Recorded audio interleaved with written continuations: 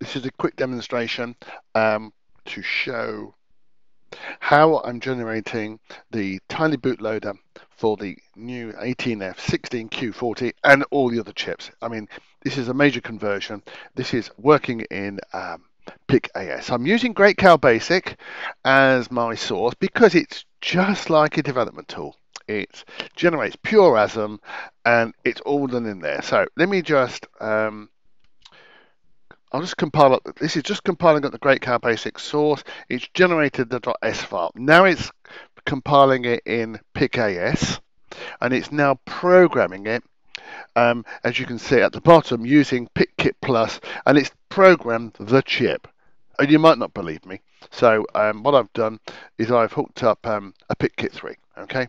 And that PicKit 3 is here.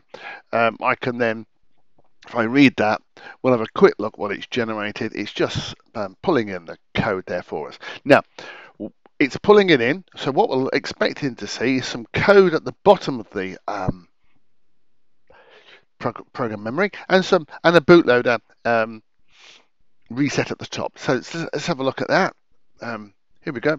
We've got a little bit of reset here. It says do a jump, and that's jumping down to our code here, which is sitting here. This is the bootloader here sitting there perfectly in memory and it's got the blanks of the memory here so that we can load our bootloader. Okay, let's just get rid of that for you. And what I'm now going to do is just bring up a Tiny Bootloader itself. This is Tiny Bootloader. This is the user interface.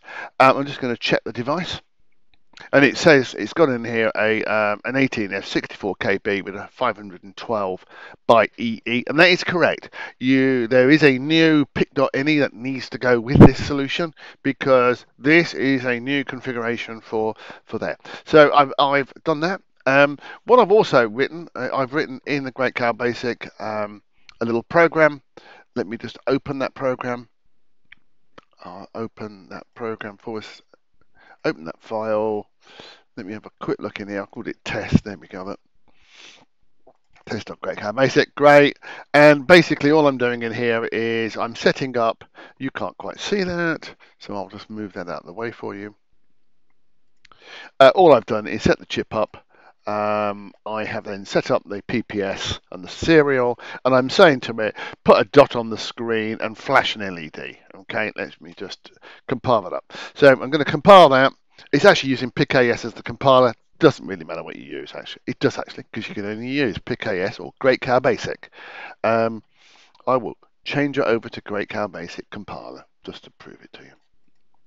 So I'm just changing that over to Great Cow Basic as the assembler, and I'm just going to generate a hex file. I've generated a hex file back into PicKit, uh, back into Tiny Bootloader. In Tiny Bootloader, I just need to um, show you that on the screen. I am going to browse.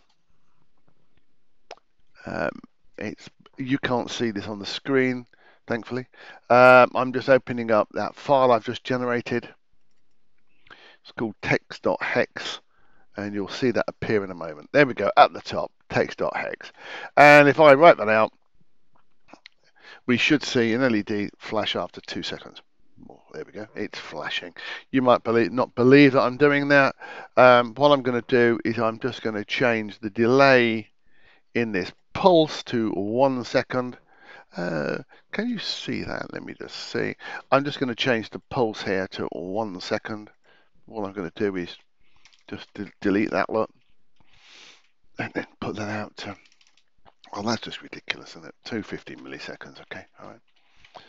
I'll do the same here 250 milliseconds. I'll just recompile that back into tiny bootloader.